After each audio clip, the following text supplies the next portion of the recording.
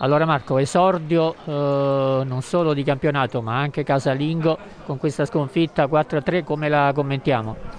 Beh, la commentiamo che abbiamo regalato un tempo, almeno il primo tempo non siamo scesi in campo, abbiamo preso tre gol, una squadra come la nostra che fa della difesa la sua arma migliore, eh, tre disottenzioni e, e tre gol di pregevoli fatture loro.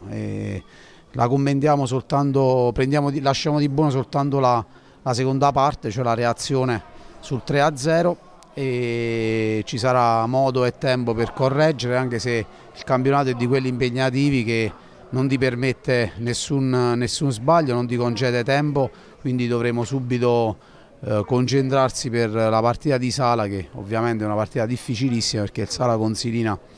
è una squadra che punta all'alta classifica, quindi dovremo andare a fare la partita della vita, ma sicuramente non la partita di oggi. Hai già anticipato un po' quello che accadrà tra due settimane perché ora subito c'è il turno di riposo. Beh sì, quando si perde il turno di riposo non è proprio l'ideale perché si ha voglia di riscattarsi subito, ne approfitteremo solo per eh, approfondire determinate situazioni in fase difensiva che oggi non, eh, non, non sono andate. Ci teniamo però alla grande reazione, il cuore dei ragazzi sul 3-0, mm, dobbiamo cercare di, di, non concedere più tanto alle squadre avversarie perché questo campionato non ti, non ti ammette errori, abbiamo visto oggi su 3-4 azioni loro hanno, hanno capitalizzato praticamente il 100% delle azioni faremo di necessità virtù, cercheremo di lavorare e cercheremo di andare a fare punti a Sala che non sarà semplice. Al di là eh, Marco del loro muro in porta, davvero bravo il portiere, eh, credi che eh, abbiano pesato poi cinque falli?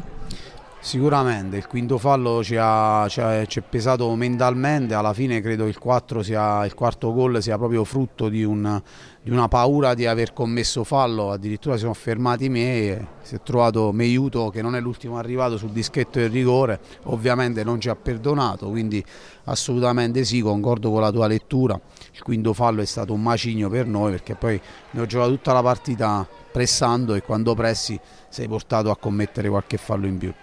Chiudiamo con una notizia insomma, positiva, è tornato il pubblico e il palazzetto era praticamente pieno. Assolutamente sì, credo che da lunedì aumenterà anche la percentuale, arriverà al 60%, di questi siamo felicissimi, però c'è da dire che siamo dispiaciuti per non aver potuto regalare quantomeno un punto a questo pubblico, eh, ci rifaremo sicuramente la prossima volta.